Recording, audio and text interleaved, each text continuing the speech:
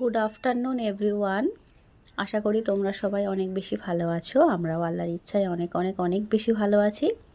তো এখানে ঘুম থেকে উঠে ঘরের সমস্ত কাজ কমপ্লিট করে আমি একেবারে গোসলটা করে নিয়েছি, কারণ আজকে ঘুম থেকে উঠতে অনেক লেট তারপরে এখানে মাম্মামকেও গোসলটা করিয়ে দিয়েছি। মাম্মামেরও গোসল করা কমপ্লিট হয়ে গেছে। মাম্মামের গোসল করার পর এখন সোনাকে আমি একটু আদর করছি। সোনা পাখিকে আদর করতে করতে এখন নামাজের টাইম হয়ে গেছে, তো আমি আর দেরি না করে নামাজ পড়াটা কমপ্লিট করে নেব। তো নামাজ পড়া হয়ে গেলে আমি মাম্মামকে আমি ভাতটা খাইয়ে দেবো। তো এখানে আমার নামাজ পড়া কমপ্লিট হয়ে গেছে, এখানে সোনা পাখিটা দোয়া করছে এখন আল্লাহর কাছে বসে বসে।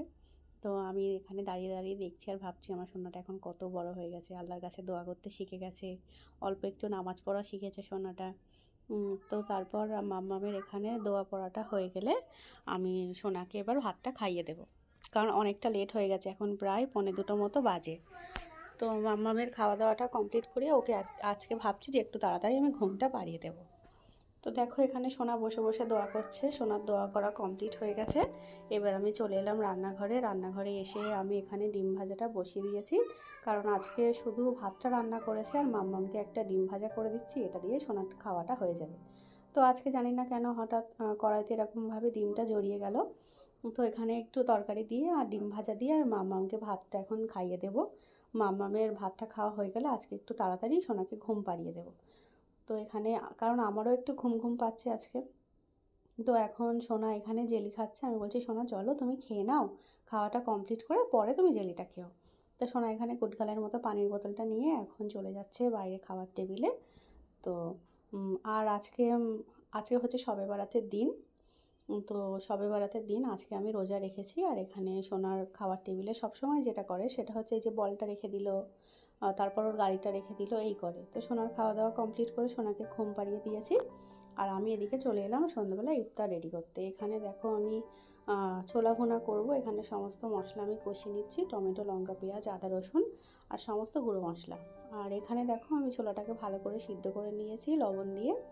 সিদ্ধ করে আমি সাইডে রেখে দিয়েছি। তো ছোলাটাকে আমি এবার দিয়ে দিলাম, দিয়ে ভালো করে এখন আমি কষিয়ে নিচ্ছি। তো কষানো কমপ্লিট হয়ে গেলে আমি এবার এর মধ্যে অল্প করে একটু পানি অ্যাড করে দেবো।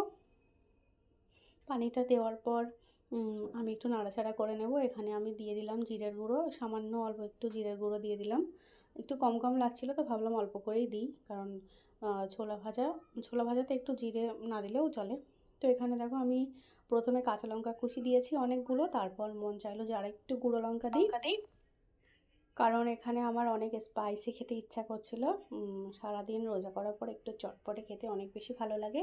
সে কারণে আরও একটু ঝাল ঝাল করে আমি এখানে ছোলাটা করে নিলাম। এখানে দেখো আমি অল্প করে একটু পানি অ্যাড করে দিলাম। পানিটা দিয়ে এবার আমি কিছুক্ষণ কষিয়ে নেব। আর আজকে যেন মনে হচ্ছে এখনও অনেকটা বেলা বাকি আছে ইফতারের এখনও অনেক দেরি কিন্তু না সময় হয়ে এসেছে। আর কিছুক্ষণের মধ্যেই আজান হয়ে যাবে। তো দেখো, এখানে আমি ঝটপট করে তাড়াতাড়ি করে ছোলাটা আমি করে নিচ্ছি, কারণ এখনও ফল কাটা আমার বাকি আছে, আরও অজু করা বাকি আছে, সে কারণে আমি এদিকে চলে এলাম। ফলটা কেটে নিয়েছি, এখানে দেখো খেজুর আছে, সমস্ত ফল আছে, আর এখানে মাম্মা আজকে আমাকে গ্লাসে পানি ঢেলে দিয়েছে, সোনা গিয়ে আজকে মুড়িয়ে এনে দিয়েছে। তো এবার নামাজের টাইম হয়ে গেছে, তো নামাজ পড়ে ইফতার আমি করে নিয়ে চলে এসেছি ঘরে। এখন মা গরম গরম বেগুনি ভেজেছে, আর এই যে ছোলা মাখাটা আছে, তো এখন ছোলা মাখা মুড়ি দিয়ে আমি দুজনে খাব আর গল্প করব আর এখানে সোনার জন্য নানি বানিয়ে দিয়েছে একটু ঝাল কম দিয়ে মানে ঝাল ছাড়া ওকে কয়েকটা তেলে ভাজা বানিয়ে দিয়েছে। তো সোনা এগুলো এখন বসে বসে খাচ্ছে আর অনেক মজা করছে। আর এখানে গল্প করছে, আমাকে বলছে, মাম্মা খাওয়া হয়ে গেলে কিন্তু আমি বোম ফাটাতে যাব। তুমি তাড়াতাড়ি করে খেয়ে নাও আমরা বোম ফাটাবো। আমি বলছি, দাঁড়াও আগে খেয়ে একটু রেস্ট নিই। আর আমার কি হয়, সারাদিন রোজাটা করার পর খাওয়া দাওয়ার পরেই প্রচণ্ড মাথা ব্যথা করে। জানি না কেন এরকম হয়। তো মেয়েটা একদমই আমাকে রেস্ট নিতে দিল না আজকে। চলে এলো এখানে বোম ফাটাতে। হুম, তো এখানে মা দেখো, ওদেরকে হাতে একটু একটু করে এগুলো ধরিয়ে দিচ্ছে। আর সোনা তো অনেক বেশি ভয় পাচ্ছে, সে কারণে হাতেই নিতে চাইছে না প্রথমে।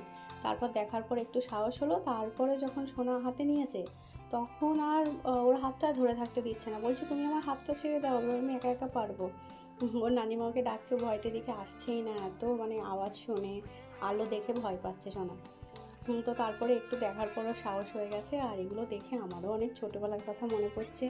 কারণ একটা সময় ছিল ছোটোবেলাতে সবে বেড়াতে সময় অনেক বেশি জেদ করতাম যে একটু এগুলো এনে দেওয়ার জন্য, একটু ফুলঝুরি এনে দেওয়ার জন্য আব্বার মায়ের কাছে অনেক জেদ করতাম। তখন তো জানতাম না যেগুলো সবে বেড়াতে রাত্রে এগুলো ফাটানোটা একদমই ঠিক না। আর আমরা অবশ্য সবে বেড়াতে একদিন পর এটা আমরা ফাটাচ্ছি, তোমরা যেন ভেবো না যে আমরা সবে বেড়াতে রাতেই এগুলো করেছি। না, এগুলো হচ্ছে বাচ্চারা সব ফাটিয়েছিল, সেটা হচ্ছে সবে বেড়াতের একদিন পর। তো একদিন পরে বাজিটা ফাটালে কোনো অসুবিধা নেই, এটা একটুখানি আনন্দ করে বাচ্চারা আর কি বলব। তো এখানে দেখো সব পাড়ার ছোট ছোট পুচকি পুচকি বাচ্চাগুলো এখন অনেক বোম ফাটাচ্ছে, অনেক আনন্দ করছে এনজয় করছে। আমিও ওদেরকে দেখে আমার ছোটোবেলার কথাটা মনে করছি বেশ ভালো লাগছে। তো এখানে খাওয়া দাওয়া কমপ্লিট করে সোনা বসে আছে। চলো এর সাথে সাথে আজকের ভ্লগটা এত দূর রাখছি।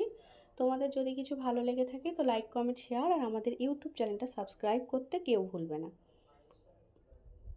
তো চলো আজকের মতো এত দূর আর আমাদের ভিডিওটা শেষ পর্যন্ত দেখার জন্য অসংখ্য ধন্যবাদ। তোমরা সবাই ভালো থেকো, সুস্থ থাকো আর এভাবেই আমাদের ভিডিও দেখতে থাকো। খুদা হাফেজ গুড নাইট